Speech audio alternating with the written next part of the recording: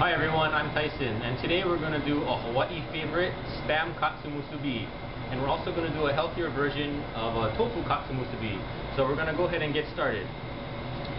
So here we have a can of Spam, the lighter sodium version, and we're going to go ahead and open this. And when you open it, don't mind the gelatinous substance that's around it. I'm pretty sure it's natural flavoring. So we, uh, to save time, we have a Spam cutter here. We're going to go ahead and place our meat inside of the slicer and just press down gently. It should come out to about eight uniform pieces. So we're just going to use one piece for today's demonstration. We also have a piece of tofu, extra firm tofu that I cut earlier, which is about the same size as the spam, and we're going to go ahead and start breading our musubis. Oh, oh no, it's good up. I'm uh, filming? Oh. Okay, so what we have here is our extra firm tofu and our piece of spam. Uh, we're going to go ahead and start breading this and instead of using an egg wash what I found a lot easier is if you just find some simple tempura batter and add some water it creates a really good coating agent. And we also have some panko here that we're going to dip our uh, spam and tofu in. So here we go. So we're going to use the wet hand dry hand technique. So I have a glove on and I'm going to go ahead and throw my spam and my tofu inside of my tempura mixture. And you want to make sure that each one of your ingredients is well coated. And just get the excess batter off. And with your dry hand we're just gonna take a nice heaping scoop and drop it right in there.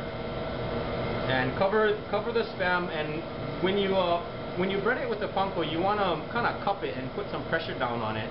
You don't want to smash it flat. You're kind of making like a pretend it's like a mouse. Here that's the kind of uh, shape you want. And just give it a flip one time. Repeat the process.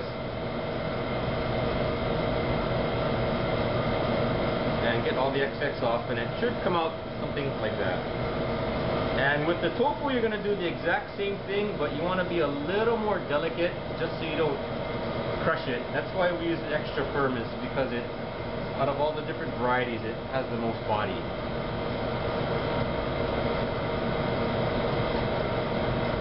Okay, and here we go with the tofu.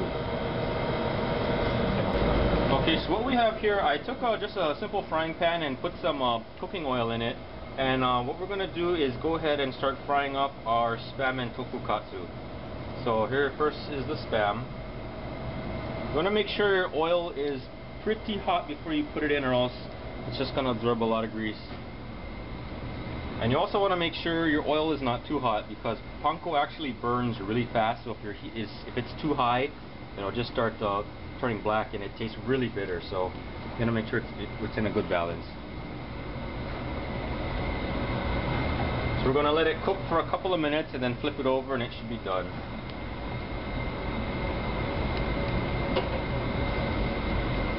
Spam is actually the uh, and I'm not exactly sure how it got so popular in Hawaii, but it uh, it's they call it the Hawaiian steak.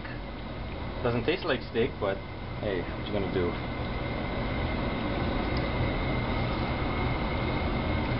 And uh, when we're done with this, um, for a little added flavor, we're gonna go ahead and brush some teriyaki sauce on top. Okay, so we're just about done here. Um, getting a nice brown crisp on both sides. That's exactly what you want. So we're gonna go ahead and uh, turn off the heat. And we're gonna go ahead and uh, put our ingredients on a plate and a paper towel underneath just to absorb some of the uh, oil. And we're gonna go ahead and get some uh, steamed rice. Okay, so we have all of our ingredients ready, and now we're gonna assemble it, and uh, we're gonna show you how the musubis are actually made. So I have a piece of uh, nori here. Um, this is just a standard regular sushi size nori. And we're going to cut it up into about uh, three strips. So I'm just going to use a regular knife. Just kind of make my way down. So three strips uh, per slice should give you what the average musubi looks like. So we're only going to use two for this uh, demonstration. Most of the time you'd use a musubi mold, but I don't have one right now, so I'm going to use my two favorite tools, which is my hands. So you get a, so we have some white rice here, you're going to make a, a ball about this big, and what you're going to do is go ahead and mold it, kind of turn it, um, it should look kind of like a, a long egg at some point. You want to pack it a little tightly, so kind of should look like this. And what we're going to do is place our two balls, and we're going to get our, this is uh, the one on the left is our spam, and also our tofu.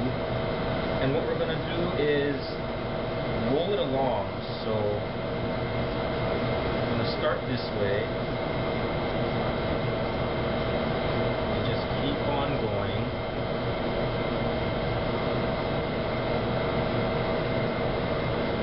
There you go. And don't worry if it's a little bit off, you can always fix it afterwards. And I'm going to just repeat the process with the tofu.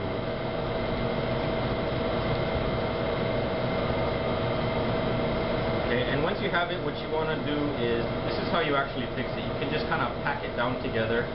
And the, the steam from the rice will actually help seal the musubi when you pack it up later. So.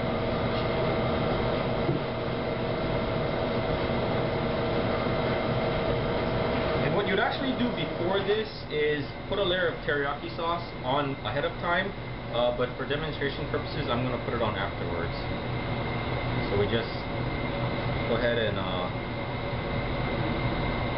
put a light there. This is a homemade teriyaki sauce and it's really easy to make. All it is is shoyu, equal parts sugar, and some grated ginger. It really, uh, the ginger really brings out the flavor and it's really good. It's versatile. And last but not least, we're just going to sprinkle on some green onion.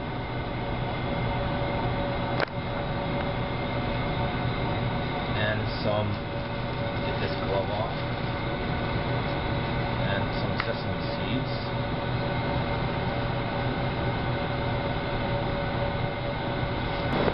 Okay, so this is our final product. We have the tofu to the right and the spam to the left. And last but not least, I'm going to go ahead and uh, experiment with our creation here. So here's the spam. Here it goes.